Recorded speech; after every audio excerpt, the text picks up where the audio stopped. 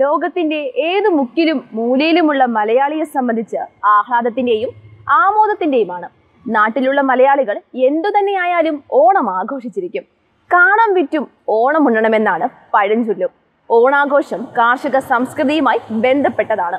എന്നാൽ നമ്മുടെ നാട്ടിലെ വിഭവങ്ങൾ കൊണ്ടല്ല പലപ്പോഴും നാം മുൻകാലങ്ങളിൽ ഓണം ആഘോഷിക്കാറുള്ളത്. അയൽ സംസ്ഥാനങ്ങളിൽ നിന്ന് പച്ചക്കറി ലോറി വരുന്നതും നോക്കിയിരിക്കുകയായിരുന്നു. എന്നാൽ ഇത്തവണ അവ നോക്കിയിരിക്കാതെ മലയാളികൾക്ക് ഓണം ഉണ്ണാം.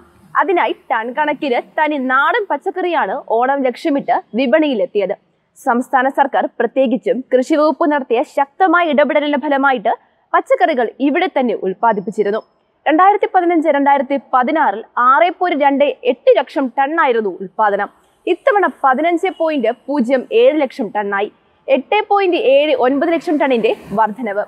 ഓണത്തിന് ഒരു മുറം പച്ചക്കറി പദ്ധതിക്കുള്ള ഒരുക്കം നേരത്തെ തന്നെ ആരംഭിച്ചിരുന്നു.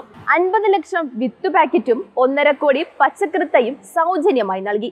നാട്ടിലെത്തിയ പ്രവാസികളും തൊഴിൽ നഷ്ടപ്പെട്ടവരും മണ്ണിലിറങ്ങിയതും ഒരു കാരണമാണ്. സുഭിക്ഷ കേരളം പദ്ധതിയുടെ ഭാഗമായ വിവിധ കൂട്ടായ്മകളും സംഘടനകളും പുരുഷ സ്ത്രീ സ്വയം സഹകരണ സംഘടനകളും കൃഷി ഇറക്കിയതും നേട്ടമായി. സ്ത്രീ ശാക്തീകരണ പ്രസ്ഥാനമായ കുടുംബശ്രീയും ഗ്രൂപ്പുകൾ രൂപീകരിച്ച് കൃഷി ചെയ്തു. പതിനാറിനം പഴം പച്ചക്കറിക്ക് സംസ്ഥാന സർക്കാർ അടിസ്ഥാന വില പ്രഖ്യാപിച്ചതോടെ കർഷകർക്ക് മികച്ച വില ലഭിക്കാനും തുടങ്ങി. ഓണത്തിന്റെ ഭാഗമായി കൃഷി വകുപ്പ് രണ്ടായിരം പച്ചക്കറി ചന്തയാണ് തുടങ്ങിയത്. ഉൽപ്പന്നങ്ങൾ അധിക വില നൽകി സംഭരിച്ച് വിപണിയേക്കാൾ കുറച്ചാണ് വിൽപ്പന. പ്രാദേശിക കർഷകരിൽ നിന്ന് ലഭിക്കാത്ത ഉൽപ്പന്നങ്ങൾ മാത്രമാണ് ഹോർട്ടിക്കോർ മുഖേന അയൽ സംസ്ഥാനങ്ങളിൽ നിന്ന് കൊണ്ടുവന്നത്. അധിക ഉൽപാദനം കാരണം വിപണി കിട്ടാത്ത സ്ഥിതി വരാതിരിക്കാനും ജാഗ്രത പാലിച്ചു. ഓണക്കാലത്തെ വിപണി ഇടപെടലിന്റെ ഭാഗമായി കൃഷിവകുപ്പിന്റെ നേതൃത്വത്തിൽ രണ്ടായിരം നാടൻ പച്ചക്കറി ചന്ത സംഘടിപ്പിച്ചിരിക്കുകയാണ്. കൃഷിവകുപ്പിന്റെ കീഴിലുള്ള കൃഷിഭവനുകൾ Horticorp V S P C K എന്നിവരുടെ നേതൃത്വത്തിൽ പതിനേഴ് മുതൽ ഇരുപത് വരെയാണ് വിപണികൾ. കൃഷിഭവനുകൾ മുഖാന്തരം ആയിരത്തി മുന്നൂറ്റി അൻപത് വിപണിയും ഹോർട്ടികോപ്പിന്റെ അഞ്ഞൂറ് വിപണിയും വി എഫ് പി സി കെയുടെ നൂറ്റി അൻപത് വിപണിയും ഇതിൽ ഉൾപ്പെടുന്നു. എല്ലാ ജില്ലകളിലും സംഘടിപ്പിക്കുന്ന ഓണം വിപണികളിലേക്ക് ആവശ്യമായ പഴം പച്ചക്കറി ഉൽപ്പന്നങ്ങൾ പരമാവധി അതാത് ജില്ലകളിലെ കർഷകരിൽ നിന്നാണ് സംഭരിക്കുന്നത്. സംസ്ഥാനത്ത് ഉൽപാദനമില്ലാത്ത പച്ചക്കറികൾ മാത്രം അയൽ സംസ്ഥാനങ്ങളിൽ നിന്നും ഹോർട്ടികോ മുഖേനയും എത്തിച്ചു. കർഷകരിൽ നിന്നും നേരിട്ട് സംഭരിക്കുന്ന പച്ചക്കറികൾ കർഷകർക്ക് പൊതുവിപണികളിൽ നിന്നും ലഭ്യമാകുന്ന അതാദിനങ്ങളുടെ സംഭരണ വിലയേക്കാൾ പത്ത് ശതമാനം അധികം വില നൽകിയാണ് സംഭരിച്ചിരിക്കുന്നത്.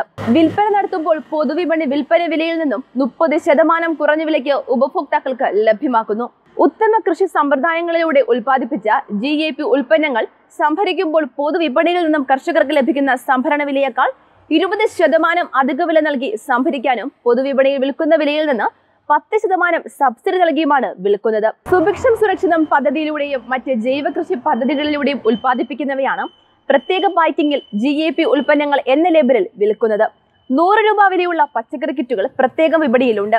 പഴം പച്ചക്കറി ഉൽപ്പന്നങ്ങൾ കൂടാതെ മറയൂർ ശർക്കര മറയൂർ വെളുത്തുള്ളി കേര വെളിച്ചെണ്ണ തേൻ കൃഷിവകുപ്പ് ഫാമുകളുടെ ഉൽപ്പന്നങ്ങൾ വട്ടവട കാന്തലൂർ പച്ചക്കറികൾ എന്നിവയും വിൽപ്പനയ്ക്കുണ്ട്. സംസ്ഥാനത്തെ വിവിധ പ്രദേശങ്ങളിൽ കൃഷിവകുപ്പിന്റെ സഹകരണത്തോടെയാണ് പച്ചക്കറി കൃഷികൾ ആരംഭിച്ചത്. കൃഷി വകുപ്പ് ഇക്കാര്യത്തിൽ നൽകുന്ന പ്രോത്സാഹനങ്ങൾ ഏറെയാണ്.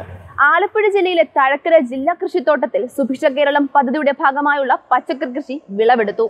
നാൽപ്പത് ടണ്ണാണ് ഇത്തവണ ലഭിച്ചത്. ഇരുപത് ടൺ വിപണിയിലും ബാക്കി വിത്തിനായും മാറ്റും. അടച്ചിടലിനോട് അനുബന്ധിച്ച് കൃഷി ഇറക്കിയ കാർഷിക വിഭവങ്ങളുടെ വിളവെടുപ്പായതോടെ ഹോർട്ടികോപ്പ് നിർത്തിവെച്ചിരുന്ന സംഭരണം ഓണക്കാലമായതോടെ പുനരാരംഭിച്ചു. സർക്കാർ നിശ്ചയിച്ച തറവില അടിസ്ഥാനപ്പെടുത്തിയാണ് ഹോർട്ടികോപ്പ് കർഷകർക്ക് വില നൽകുന്നത്. ഇത്തവണത്തെ ഓണം കോവിഡ് മഹാമാരിയുടെ ഘട്ടത്തിലാണെങ്കിലും ജനങ്ങളുടെ ബുദ്ധിമുട്ടറിഞ്ഞ് ജനങ്ങളെ നെഞ്ചോട് ചേർത്ത് പിടിച്ചാണ് എൽ ഡി എഫ് സർക്കാർ ഈ പ്രതിസന്ധികൾക്കിടയിലും മുന്നോട്ട് പോകുന്നത്. മലയാളി മനസ്സറിഞ്ഞ മണ്ണിൽ പണിയെടുത്തു. മണ്ണിനെ പൊന്നാക്കി കർഷകൻ. അവന് കലവറയില്ലാത്ത പിന്തുണയാണ് കൃഷിവകുപ്പ് നൽകിയത്. അതിനാൽ ഇത്തവണത്തെ ഓണം കൊഴുപ്പിക്കാൻ മലയാളിയുടെ മനസ്സറിഞ്ഞ ഈ മണ്ണിന്റെ പച്ചക്കറിയാണ് ഓണസദ്യയിലെ വിഭവമായി എത്തുന്നത്